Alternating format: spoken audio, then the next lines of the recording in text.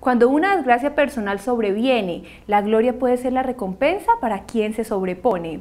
Así parece resumirse la historia de un santanderiano que ha encontrado en el sacrificio y en el deporte la esencia de su vida.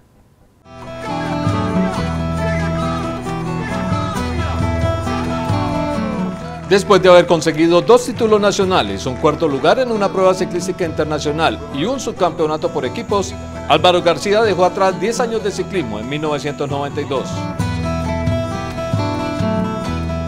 Principalmente por falta de apoyo. No, no conseguí un equipo que me patrocinara, entonces tuve que abandonar la práctica competitiva había descartado cualquier posibilidad de retornar al ciclismo, pero una adversidad lo llevó a subirse nuevamente al caballito de acero para abrirse camino en su nueva vida.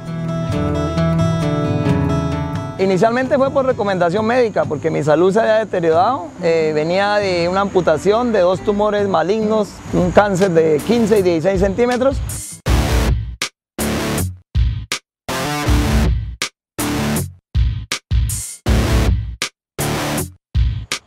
y con su pierna derecha recuperó el impulso después de 16 años de inactividad deportiva a sus 37 años.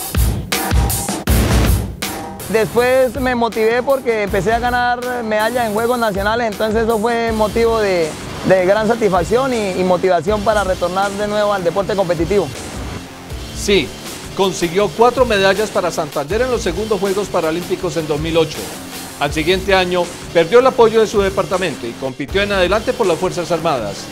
Así, volvió a las competencias ciclísticas internacionales, esta vez en Italia, en 2010 en Canadá, en 2011 en Italia, España, Canadá y Dinamarca, donde ganó el Campeonato Mundial en Ruta en la categoría C2, es decir, para los discapacitados que les falta una pierna.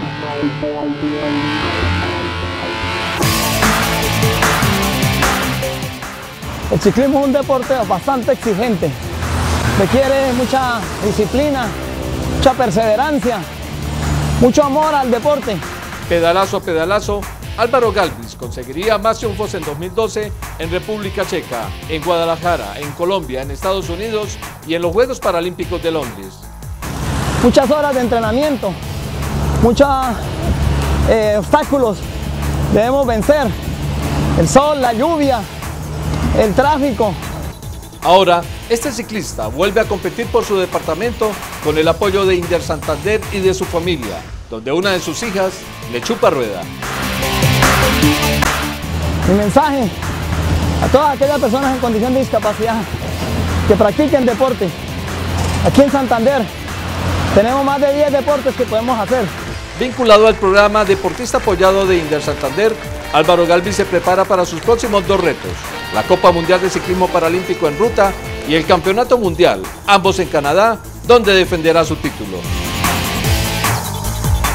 Y a partir del próximo año, competirá para empezar a sumar los puntos que necesita para llegar al que es su gran sueño deportivo.